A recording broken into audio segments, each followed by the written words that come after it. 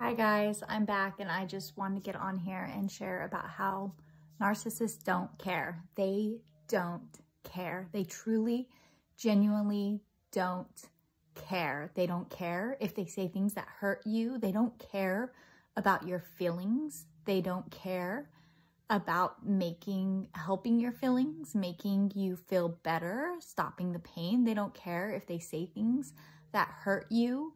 Like they truly, genuinely have zero compassion for you and they truly, genuinely don't stop if they know that they, that you, if you tell them you're hurting, they don't validate it, they don't care. And that's when you have to, you have to go no contact because they don't care. And if someone doesn't care about you, if someone doesn't care about your feelings, if someone doesn't care about how bad their words hurt you, like you have to go no contact because or else they're going to destroy you. They're going to emotionally just hurt you so bad. Like you have to surround yourself with people who genuinely, truly care and who would never say things to hurt you. Or if you said, or if you let them know like, hey, when you say that, that hurts.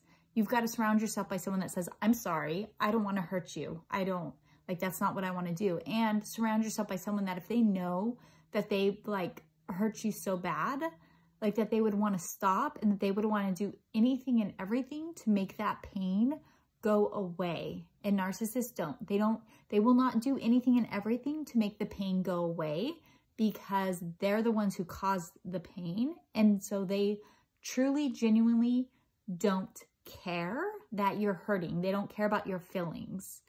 And when that happens, you can't make them care. You can't tell them how bad you're hurting and that they're just going to say, oh, okay, I'm sorry.